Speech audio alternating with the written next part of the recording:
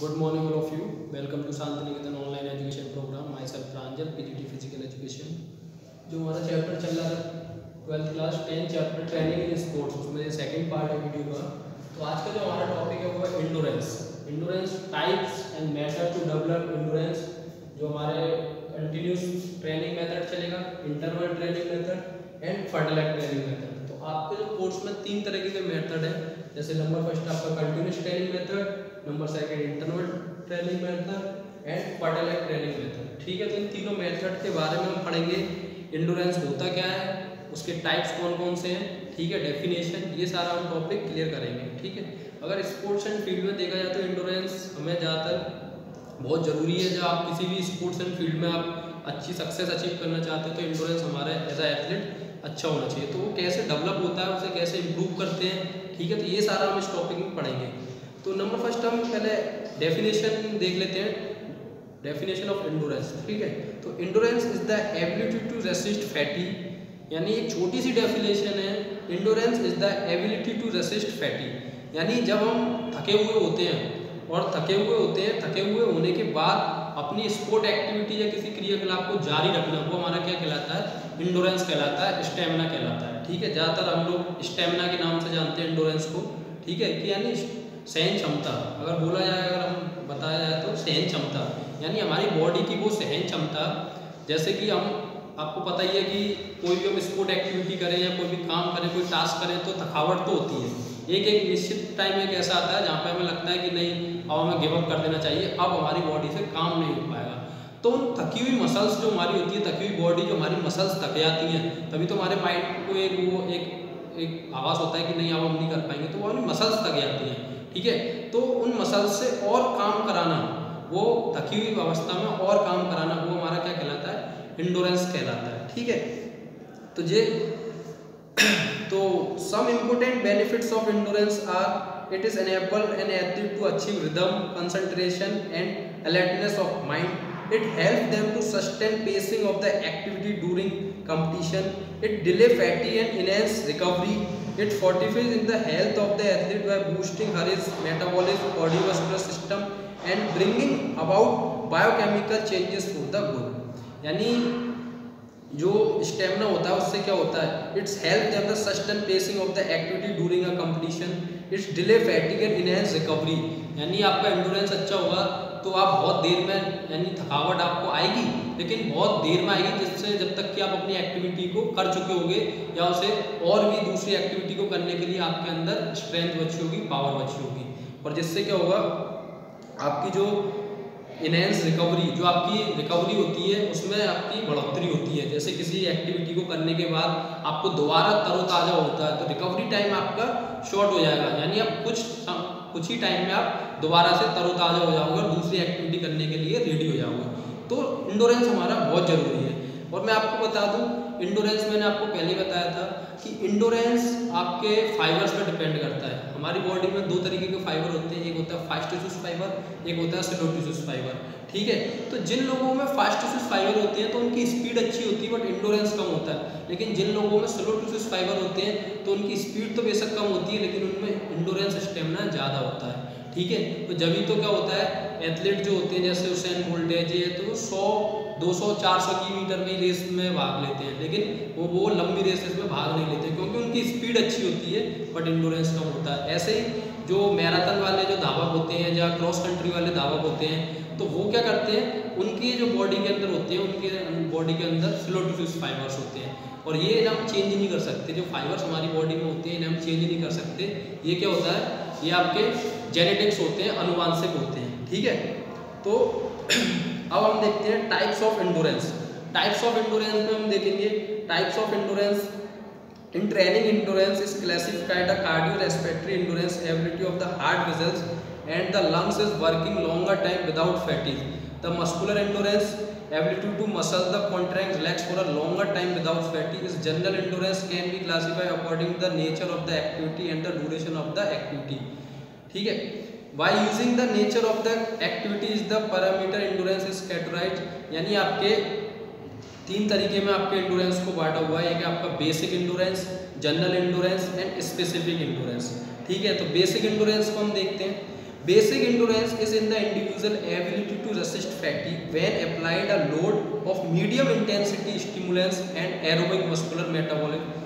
In this type of endurance, a large number of muscles are involved. The movement of perform at the slow and steady pace or a longer duration of the time. For example, include walking, running, and swimming for more than half an hour. As this is the starting point for all forms of endurance training, is the referred to the basic.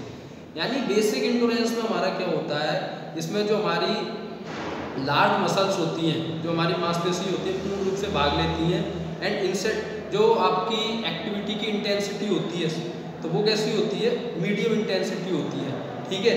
This type of endurance is a large number of muscles is involve in the movement in perform at the slow and steady for a longer duration of the time but क्या होता है, इसमें slow वो होता है उसका, यानी चल, धीमी एक वो होती है अवधि, लेकिन जो ड्यूरेशन होता है, वो थोड़ा लॉन्ग होता है, जैसे आधे घंटे तक, जैसे आपका स्विमिंग है, ठीक है, आप वॉक कर रहे हो रनिंग कर रहे हो तो उस टाइप की आपकी एक्सरसाइज में क्या वहाँ होता है? आपका बेसिक इंडोरेंस होता है, ठीक है?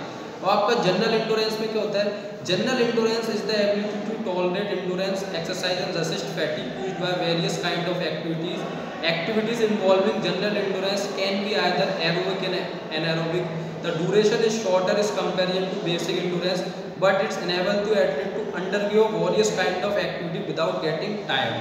यानी इस जनरल इंडोरेंस में क्या होता है? आपकी जो एक्टिविटी का ड्यूरेशन होता है वो थोड़ा कम होता है। लेकिन जो एथलीट जो होता है उस पर जो जो इंटरव्यू वो kind of activity without getting tired आप बट विदाउट गेटिंग आप थकावट की स्थिति में आपको जारी रखना होता है। ये नहीं कि आपने बंद कर दी अपनी activity but time, short time होता है, ठीक है? अब बात आती है स्पेसिफिक इंडोरेंस यानी एक विशिष्ट प्रकार का इंडोरेंस तो specific endurance can be defined as the ability to resist fatigue caused by the specific और particular sport activity different sport trigger different level of fatigue consider specific endurance can show variation यानी जो specific endurance होता है, वो एक specific sports के लिए तैयार किया जाता है। जैसे कि आप मान लो कि आपको एक लॉन्ग रेस में भाग लेना है। या आपको क्रिकेट के मैच में भाग लेना, या आपको फुटबॉल के मैच में भाग लेना तो आपको पता है कि फुटबॉल का मैच 90 मिनट या हॉकी का मैच आपका 70 मिनट तक आपको भागना ही भागना है। तो उस टाइप के इंडोरेंस के लिए आपको अपनी जो इंडोरेंस होगी, उसको एक हाईएस्ट लेवल पर ले जाना होगा। अब आपको पता है कि 100 या 200 मीटर की रेस है तो उसमें आपको उसी हिसाब का इंडोरेंस चाहिए। तो ये सारी चीज़ स्पेसिफिक इंडोरेंस में क्या होता है, आपका जो स्पोर्ट्स है, जो आपका गेम है, उसके अकॉर्डिंग आपको इंडोरेंस बनाना होता है, ठीक है?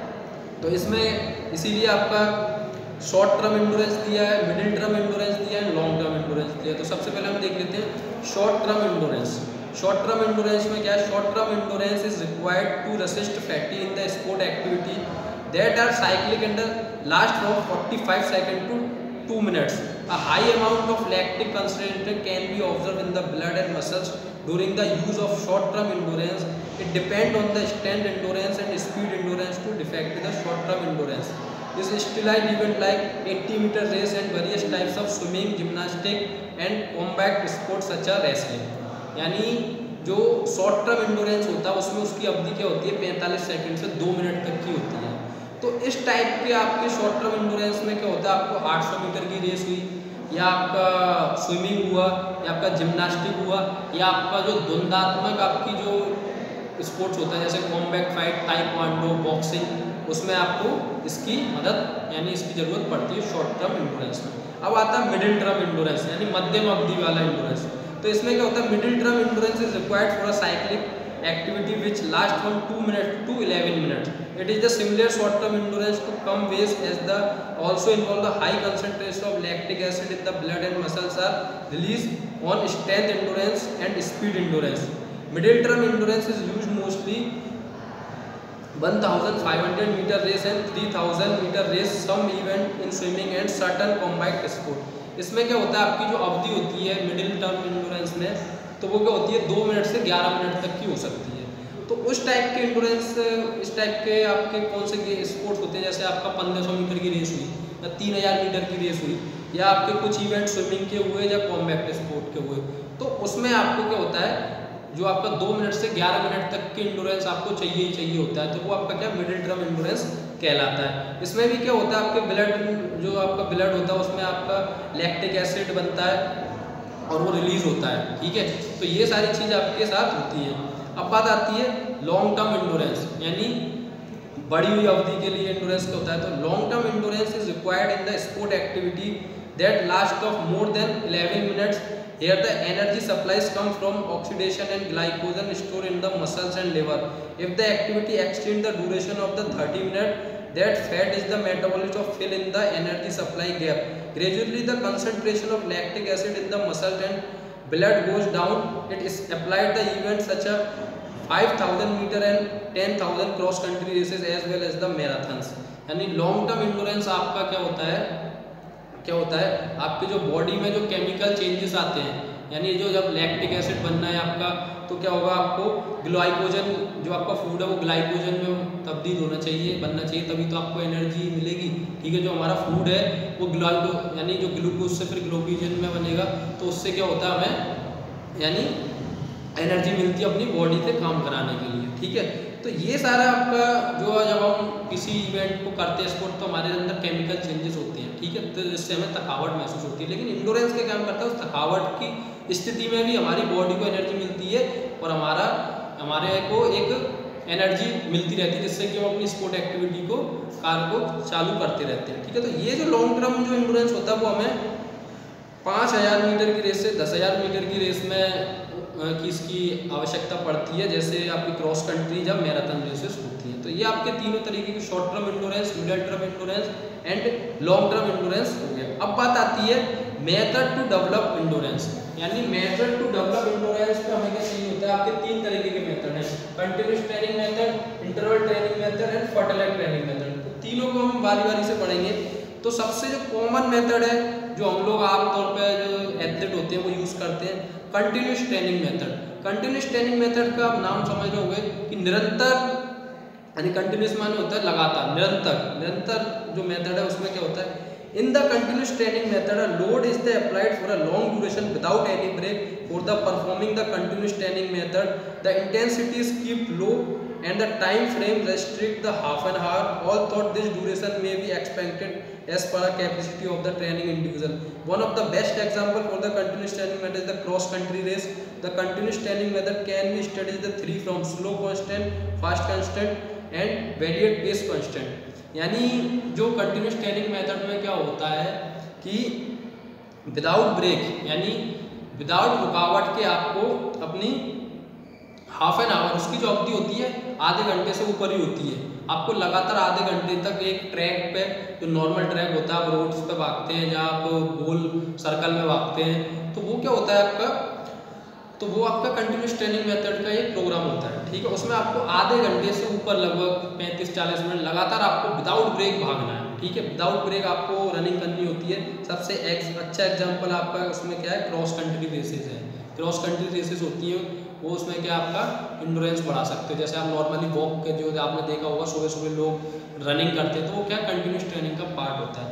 तो इसमें क्या होता है इस ड्यूरेशन में क्या होता है heart beat increase from normal to 140 to 160 beat in the duration is kept at 30 minutes with the allowance at the extend to 120 minutes This matters make the body more efficient, enhance glycogen and alkali storage in the body and also help the maintaining internal temperature. In the second type of heartbeat, heartbeat is the rest is the 160 to 180 beats per minute and duration shortened to 20 minutes. It's improve quality on enzymes land vigor to heart and lungs and increase the number of size of the mitochondria. The final types is the characterized by the change of the speed against the constant load. Athlete may for example stick to the fast constant for the 20 minutes and then change the slow constant 20 minute heartbeat number 140 to 180 per minute. This matter improve both the aerobic and anaerobic perform of the individual यानी इसमें जब हम जब निरंतर जो हम भागते हैं, इसमें कंटिन्यूस ट्रेनिंग मेथड में तो जो हमारी हार्ट बीट है, वो 140 से 160 फिर 140 से 180 बीट पर मिनट तक पहुँच जाती है। तो ये जो होती है और हमारी जो बॉडी का टेम्परेचर है, वो भी इंक्रीज होता है। ठीक है? तो उससे क्या होता है? जो हमारा स्टेमिना होता है, जो इंडोरेंस होता है, वो हमारा और इम्प्रूव होता है और बूस्टअप होता है, ठीक है? तो उससे हमारा जो स्टेमिना वो डेवलप होता है। जो हमारा जो नॉर्मल जो कॉमन ज़्यादातर जो मेथड है वो आपका कंटिन्यूस ट्रेनिंग मेथड है, ठीक है? तो ये आपको समझ में आ गया होगा कि कंटिन्यूस ट्रेनिंग मेथड जो आप उसका नाम दिया है कंटिन्यूस ट्रेनिंग मेथड उसी हिसाब से आपको उसको डेवलप करना होता है, ठीक है? अब बात आती है interval training method interval training method जैसे आप नाम समझ ही रहे हो इंटरवल इंटरवल का मतलब क्या होता है? अंतराल. किसी बीच का अंतराल. ठीक है तो इसमें क्या होता है? Interval training method is execute with the repeated effort of the fast pace with interval of incomplete recovery in between the aim is the increase the heart beat 170 seventy beats per minute for this reason the heart rate is monitored and it is the often refer training of heart this matter of training was first devise by the Finnish coach Lauri Pihkala who named is the terrace training the technique of balancing work with rest help Pihkala's training Paavo Nurmi win both of the 100 1500 meter and 5000 meter red in 1924 Olympic इस training में क्या होता है? जैसे कि आपको नाम से ही पता चल रहा है तो इसमें क्या होता है? कि जैसे इसका मेन जो जो इसका अचीव होती है वो आपकी हार्ट बीट को 170 से 180 तक ले जाना होता है, ठीक है? एंड इसमें क्या होता है? रिकवरी टाइम दिया जाता है। इसमें ये नहीं कि जैसे हमने कंटिन्यूस ट्रेनिंग मेथड में लगातार आपको 40 मिनट 45 मिनट भागना है, ठीक है? अब इसमें क्या होता है? आपको पहले 400 मीटर भागना है, फिर आपको दो या तीन मिनट का रेस्ट देके फिर आपको 400 मीटर भागना है। ऐसे ऐसे टुकड़ों में बांटना होता है। उससे क्या होता है? आपको रिकवरी टाइम मिल जाता है फिर आप स्टार्ट करते हो। तो ये जो मेथड दिया था divide by the Finnish coach Lauri Pihkala ने दिया था, वो named is the terrace training इसे टेरेस ट्रेनिंग के नाम से भी जानते हैं। The technique of balancing work with the help Pihkala's training Paavo Nurmi win यानी पावो नॉर्मी नाम के जो एथलीट थे, उन्होंने दो तरीके की रेस जीती थी इस टेक्निक से 1500 मीटर और 5000 मीटर 1924 ओलंपिक में। Nurmi would run 4 meter 10 to 20 times in a day यानी नॉर्मी ने क्या किया था? 400 मीटर की जो रेस थी, उसे वो एक दिन में 10 से 20 बार करता था। ना कि लगातार कि 5 किलोमीटर 10 किलोमीटर भागना, वो 400 400 मीटर के टुकड़े 10 से 20 बार दिन में भागता था इन अ डे तो उससे क्या होता था instead of continuously covering 10 to 20 miles अब German coach name Toni stated when the athlete runs the speed of 80 percent is pulse with the 150 to 180 तो उससे क्या होता था, जो पल्स रेट है, उसकी 150 टू 180 तक अचीव करती थी वही उन्हें अचीव करनी होती थी। तो जिससे this is the best recovery time for the speed endurance the foundation of interval training is the principle of effort and recovery workload is the increase by realizing workout duration by simultaneously shortening recovery period for the training and the athlete 400 meter in the following example is applied यानी, ये क्या था? Effort और recovery थी इसमें। यानी पहले आपको एफर्ट लगाना है, आपका 400 मीटर के टुकड़ों के साथ भागना फिर आपको रिकवरी मिलती थी। तो ऐसे करके इसमें अपने स्टेमिना को बढ़ाया जाता था और इस स्टेमिना को, इस मेथड को यूज़ करके जो नॉर्मी नाम के जो एथलीट थे उन्होंने 1924 में 1500 मीटर और 5000 मीटर में भी जीत अपनी विंस यानी मेडल जीते थे। ठीक है? तो ये क्या आपके आपके इंडोरेंस को डेवलप करने की मेथड है? अब आपका लास्ट मेथड और है, इसमें भी ट्रैक आपका नॉर्मली रहेगा, आप नॉर्मल ट्रैक पर ऐसे कर सकते हो। अब बात आती है फर्टलाइट मेथड फर्टलाइट मेथड में क्या होता है the victory of Nurmi and his follow Finns in the 1920 innovated the innovative training strategy in the neighboring Sweden cross country runners. The Swedish coach Gustav Holmer developed the Fartalag method in 1937 in which the combination of the fast and slow paces replaced the prevalent style of the running cross country at the steady speed. Fartalag is the Swedish word of the speed play. In the method, the change of the intensity of decided by the surface of running the surrounding, the athlete physical strength and limitation, the climate aspect. For instance, the terrace can which switch from body rise the riverside and hills. It account for both the aerobic and anaerobic system of the body. The pulse rate should remain with the 140 to 180 beats per minute with duration of training lasting 45 minutes on the average. The example of the Fartlek training can of the following structure. यानी जो फटलैक training method क्या होती थी, इसमें क्या एक अलग तरह की ट्रेनिंग होती थी एथलीट की इसमें क्या होता था, जो हॉस्टो ऑलमर है, जिन्होंने डेवलप किया 1920 में स्वीडिश कोच थे Gosta Holmer develop the fartlek method 1937 में उन्नीस में इसे डेवलप किया combination of fast and slow phases replace the prevent style of running cross country speed fartlek Swedish word of the speed play यानी इसमें क्या क्या करा उन्होंने? उन्होंने क्या ट्रैक को थोड़ा सा चेंज किया, जैसे हिली ट्रैक करा थोड़ा थोड़ा मडी ट्रैक करा, मिट्टी वाला ट्रैक ठीक है, कुछ स्टेट ट्रैक या जंगलों के बीच में से ट्रैक जाता हुआ। तो इस टाइप का उन्होंने यानी जो आपका धावक है, धावक को उन्होंने कभी जैसे पहाड़ी वाले जो नुकीले रास्ते होते हैं उन पर दौड़ा के, और फिर उन्होंने क्या था, जो मिट्टी वाले रास्ते होते हैं उन पर दौड़ा के, फिर जो जंगलों के बीच में से, जो जंगलों के बीच में से रास्ते जाते हैं, या रिवर्स के किनारों पे जो रास्ते होते हैं तो ऐसे करके उन्होंने ट्रैक को नॉर्मल से ना करके थोड़ा सा ट्रैक को चेंजेस किया। उस ट्रैक पे धावक को दौड़ना होता था। तो उससे क्या होता था, वो कभी स्लो भागता था, कभी फास्ट भागता था, कभी नीचे, कभी ऊपर तो उससे क्या होता था, उसकी जो पल्स रेट थी, उसको अचीव कितना करना था 140 टू 180 पर मिनट तक ले जानी होती थी, जो कि एक ड्यूरेशन यानी एक बहुत अच्छी मानी जाती है आपके इंडोरेंस को डेवलप करने के लिए, जो बीट होती है हार्ट बीट होती है। तो एक यही करते हैं तो उसमें क्या होता था, ये एक अलग तरीके का मेथड था, जिसे हम फर्टालाइज मेथड के नाम से जाना जाता था। ठीक है तो इसमें क्या था रनिंग तो हर मेथड में करनी है, यानी धावक को अपना इंडोरेंस बढ़ाना है, उसे इम्प्रूव करना है तो धावक को भागना पड़ता है। लेकिन इसमें क्या करा उन्होंने, थोड़ा सा ट्रैक को चेंज किया, भागने की जो जगह थी उसको, और उसकी जो ड्यूरेशन थी वो 45 मिनट रखी। यानी 45 मिनट तक आपको अपनी एक्टिविटी कम से कम यानी जारी रखनी है ठीक है तो इसमें कुछ फॉलोइंग स्ट्रक्चर थे इसके jogging for five to ten minute followed by the free hand exercise for different part of the body for four to six minute as the warming up process steady running over the distance of 80 meter to 1200 meter followed by brisk walking for 5 minutes jogging again separated by 40 meter and 50 meter sprint this step is repeated until fatty start once fatty said in the jogging speed slow down running uphill over the distance of 80 meter to 100 meter slow walk for 5 minute following by the fast running about 1 minute यानी इस तरीके के इसका क्या था, एक criteria बनाया हुआ था आपको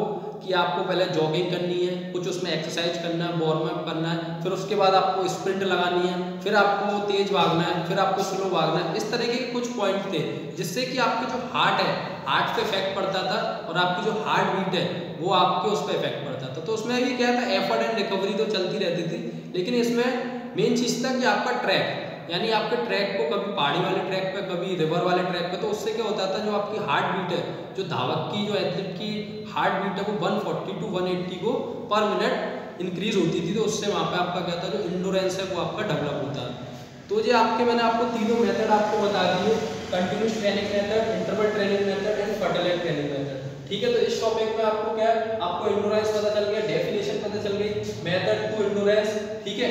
तो ये आपका इंडोरेंस वाला जो चैप्टर है टॉपिक था वो क्लियर हो गया। आई होप आपको अच्छा लगा होगा और आप इजी से समझ गए होंगे। तो नेक्स्ट जो हमारा टॉपिक है, वो हमारा स्पीड स्पीड की भी हम definition method to develop speed जो पढ़ेंगे, वो हम नेक्स्ट वीडियो में पढ़ेंगे। तो ये लगभग लगभग ये चैप्टर आपका कंप्लीट होने वाला है। और इसमें जो आपका जो कोविड के रिगार्डिंग जो कट हुआ है, वो आपका सर्किट ट्रेनिंग कट हुआ है तो सर्किट ट्रेनिंग हमें पढ़नी नहीं है। ठीक है, वो हमारा कट हो गया है। ठीक है तो मिलते हैं फिर नेक्स्ट वीडियो में।